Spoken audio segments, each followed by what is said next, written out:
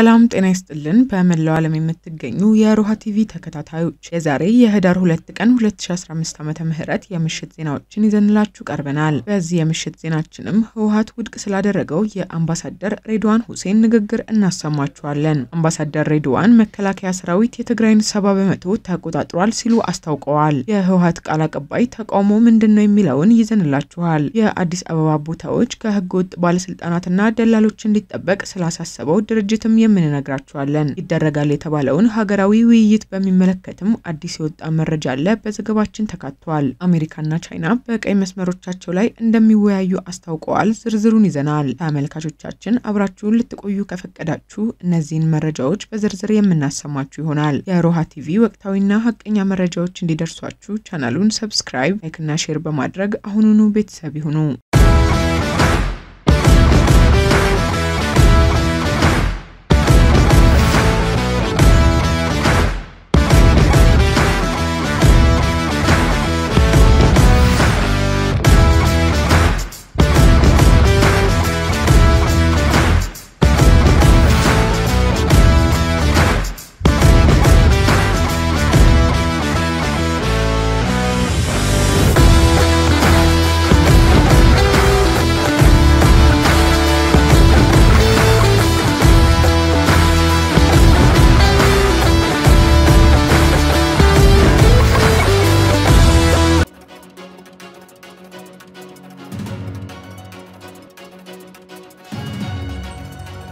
የሀገር መከላከያ ሰራዊት ሰባ በመቶ የሚሆነውን የትግራይ ክልል መቆጣጠሩን አምባሳደር ሬድዋን ሁሴን ገለጹ።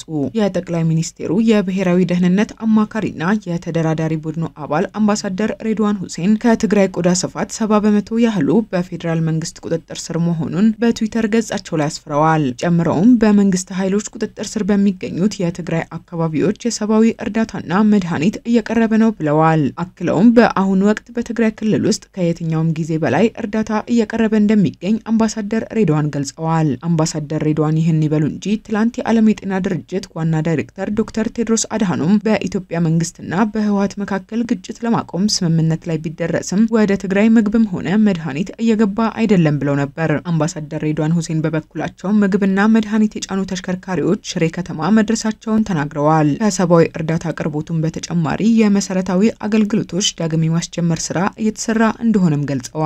ይሁን እንጂ ይህ የአምባሳደሩ ጽሁፍ በህወሓት በኩል ተቀባይነት አላገኘም። የህወሓት ቃል አቀባይ የሆኑት አቶ ጌታቸው ረዳ ለፈረንሳዩ የዜና ወኪል አዣንስ ፍራንስ ፕረስ እንዳስታወቁት አምባሳደር ሬድዋን ሁሴን ይህን ማለታቸውን ተጨባጭ መረጃን መሰረት ያደረገ አይደለም ሲሉ ውድቅ አድርገውታል። የዜና ወኪሉ ከአቶ ጌታቸው በተጨማሪ በትግራይ ክልል የሚገኝ የረድኤት ሰራተኛ አምባሳደር ሬድዋን የጻፉት ሐሰት ነው ማለቱንም አስነብበዋል። አቶ ጌታቸው መረጃውን ማስተባበላቸውን ተከትሎ አምባሳደር ሬድዋን የሰጡት ማብራሪያ የለም። ከቀናት በፊት የፌዴራል መንግስቱና ህወሓት ለሁለት ዓመታት ተካሂዶ ከፍተኛ ሰብአዊና ቁሳዊ ኪሳራ ያደረሰውን ጦርነት ለመቋጨት የሰላም ስምምነት ማድረጋቸው ይታወሳል። በዚህ ስምምነት መሰረት ህወሓት ትጥቅ ለመፍታት የተስማማ ሲሆን የፌዴራል መንግስት በበኩሉ የሰብአዊ እርዳታ የማድረስና መሰረታዊ አገልግሎቶችን የማስጀመር ኃላፊነት ተጥሎበታል።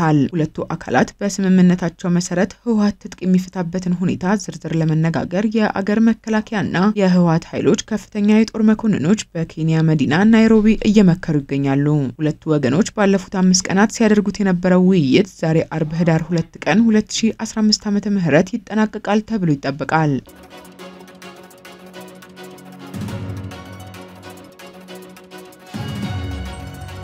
የአዲስ አበባ ክፍት ቦታዎች ከህገ ወጥ የመንግስት ባለስልጣናትና ደላሎች ይጠበቅ ሲል መኢአድ ጠየቀ።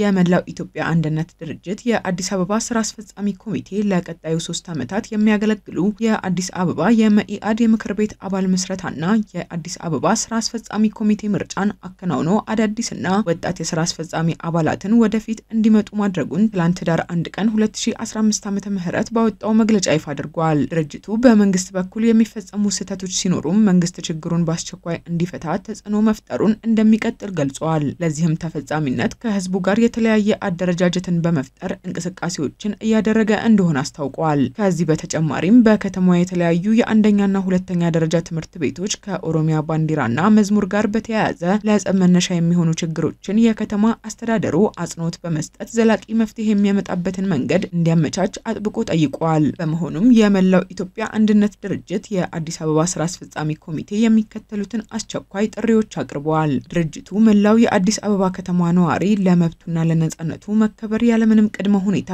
ከመኢአድ ጎን በመሰለፍ ለሰላማዊ ትግል እንዲዘጋጅ ጥሪ አቅርበዋል። አክሎም የአዲስ አበባ ከተማ ህልውና ወደ ባሰና ውስብስብ ችግር ከማምራቱ በፊት መንግስት ያልተገባ አካሄዶችን እንዲያርም፣ ህዝቡም እየሆነ ያለውን ነገር በቅርበትና በትኩረት እንዲከታተል ጠይቋል። እንዲሁም መንግስት አሁን ያለውን የኑሮ ውድነትና የዋጋ ግሽበት ሚሊዮኖችን ለከፋ ረሃብና ጉዳት ከመዳረጉ በፊት በኢኮኖሚ ውስጥ ጣልቃ ገብቶ ያለውን የገበያ መስቀልቀል እንዲያርምና እንዲያረጋጋም ድርጅቱ ጠይቀዋል። በአዲስ አበባ ከተማ የሚገኙ ክፍት ቦታዎች ባልተገባ ሁኔታ በገበሬ ልጆችና በአርሶ አደር ስም እየተመዘበረ ነው ሲል ድርጅቱ ገልጾ ከህገ ወጥ የመንግስት ባለስልጣናትና ደላሎች ይጠበቅ ሲል የመላው ኢትዮጵያ አንድነት ድርጅት የአዲስ አበባ ስራ አስፈጻሚ ኮሚቴ በመግለጫው ጠይቋል።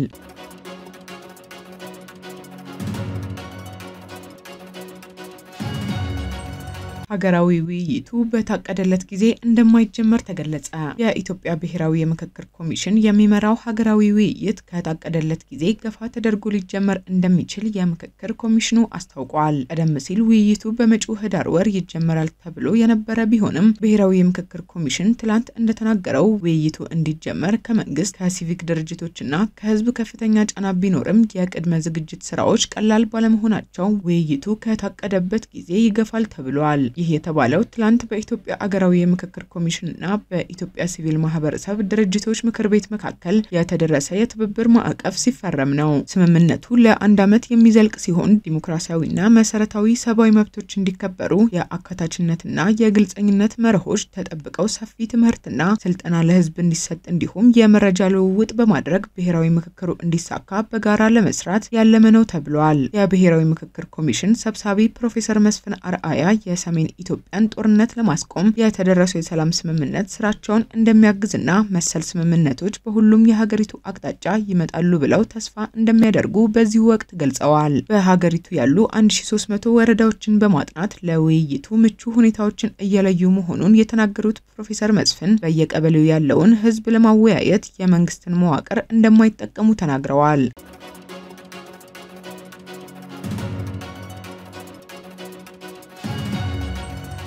አሜሪካና ቻይና ቀይ መስመሮች በሚሏቸው ጉዳዮች ዙሪያ ሊወያዩ ነው። የአሜሪካው ፕሬዝዳንት ጆ ባይደን ከቻይና አቻቸው ዢ ጂንፒንግ ጋር በሚቀጥለው ሳምንት በሚካሄደው ቡድን ሀያ የመሪዎች ጉባኤ ላይ የመገናኘት እቅድ እንዳላቸው አረጋግጠዋል። ሁለቱ መሪዎች በብሔራዊ የደህንነት ጉዳዮች ላይ ይመክራሉም ተብሏል። የዩኤስ ፕሬዝዳንት በዋይት ሀውስ ምንም አይነት መሰረታዊ ስምምነት ለማድረግ ፈቃደኛ አይደለሁም ሲሉ ከቻይናው መሪ ጋር ባደረጓቸው በርካታ ስብሰባዎች ለፕሬዝዳንት ጂንፒንግ እኔ ፉክክር እንጂ ግጭትን አልፈልግም ብያቸዋለሁ ብለዋል። የቡድን ሀያ መሪዎች የሁለት ቀን ስብሰባ በፈረንጆቹ ህዳር 15 እና 16 በኢንዶኔዥያ ይካሄዳል ተብለዋል። ዋሽንግተንም ሆኑ ቤጂንግ ለሚቀጥለው ንግግር ትክክለኛ ቀን እና ሰዓት ይፋ አላደረጉም። ባይደን ፕሬዝደንት ሆነው ከተመረጡ ከሁለት ዓመት በኋላ ሁለቱ መሪዎች በአካል ሲገናኙ ለመጀመሪያ ጊዜ ነው። ፕሬዝዳንት ጂንፒንግ በቻይና ገዢ ኮሚኒስት ፓርቲ ለሶስተኛ የስልጣን ዘመን ከተመረጡ ከሳምንታት በኋላ በአንድ ትልቅ የፖለቲካ ዝግጅት ላይ ሲገኙ የመጀመሪያቸው ይሆናል ተብሏል።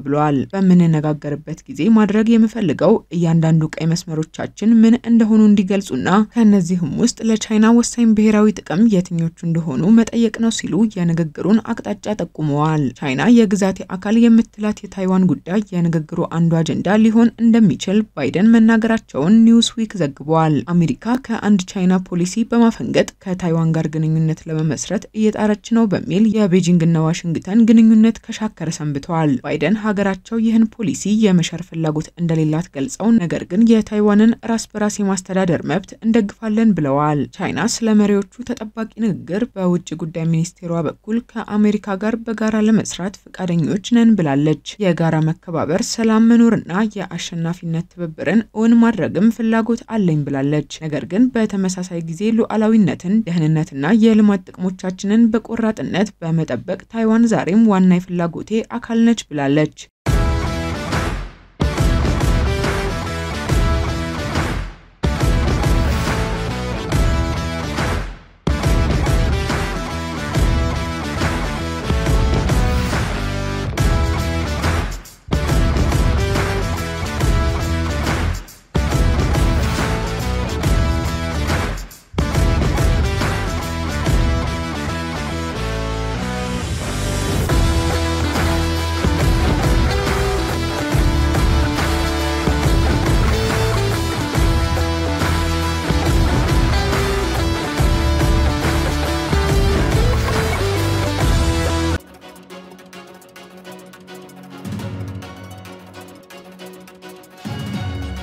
ተመልካቾቻችን የሰዓቱ የሮሃ ቲቪ ዜናዎቻችን የተከታተላችኋቸውን ይመስሉ ነበር። አብራችሁን ስለነበራችሁ ከልብ እናመሰግናለን። ሰላም